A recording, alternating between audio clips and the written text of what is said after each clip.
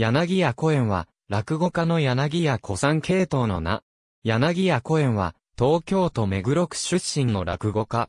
落語協会所属。本名、富田実。出林、ぎっちょんちょん。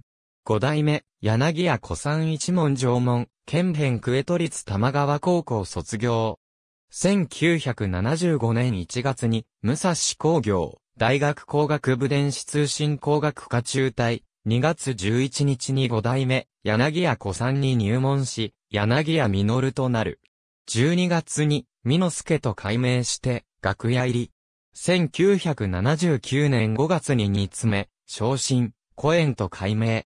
1985年9月、古今亭新助、4代目、桂三木助、林家館平、入選亭、扇遊ぶ、7代目、桂西賀、柳家三次、林家ラブ平、林家時蔵、春風亭正友と共に、新内昇進。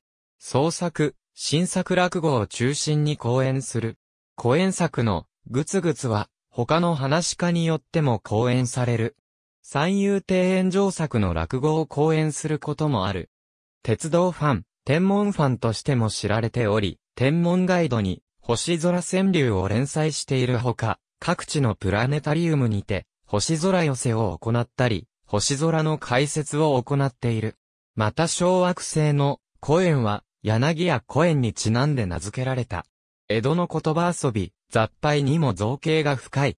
ありがとうございます。